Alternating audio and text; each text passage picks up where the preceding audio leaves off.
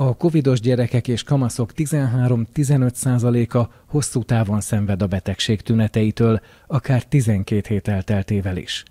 A 15 éves Georginát Spanyolországban kérdezte az Euronews. Georgina folyamatos olmos fáradtságról panaszkodik.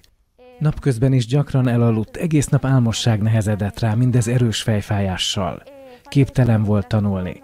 Mindig jó tanuló volt, ezért nagyon furcsa megélnie, hogy nem tud összpontosítani. Most úgy érzi, hogy képtelen összeilleszteni információkat, lineárisan végig gondolni vagy elmondani valamit, és gond a fogalmak viszonyítása is.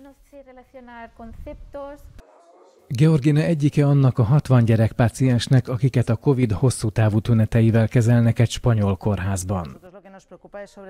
A Badalonai Kórház gyermekgyógyászatának vezetője a lelki traumáktól tart a COVID tünetek mellett. A gyerekek szeretnének lépést tartani diáktársaikkal, de képtelenek összpontosítani és behozni a lemaradásukat.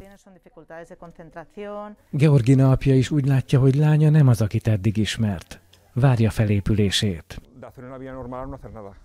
Azt mondja, hogy rá sem ismer lányára, aki eddig jól tanult, most viszont képtelen figyelni, nem vágyik társaságra, alvási zavarai vannak. Szülőként borzasztó látni a Covid elhúzódó tüneteit, jó lenne, ha Georgina meggyógyulna. Az orvosok sem tudják, hogy milyen hosszú a felépülés folyamata. A Gutmann intézet neuropszichológusa megerősíti, hogy egyelőre nem tudni, meddig tartanak az úgynevezett hosszú COVID tünetei. Az orvosok egyelőre keresik a válaszokat.